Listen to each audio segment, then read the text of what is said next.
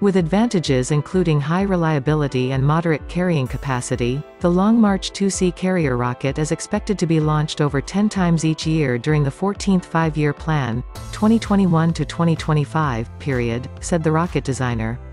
The Long March 2C carrier rocket has a fairing with a diameter of 4.2 meters and a height of 5.4 meters. China successfully sent seven satellites into space from the Xichang Satellite Launch Center in southwest China's Sichuan province on Saturday. The satellites will verify the networking technology and service capability of the low-orbit Internet constellation. They will also verify remote sensing technology. The launch marked the 410th mission of the Long March series carrier rockets.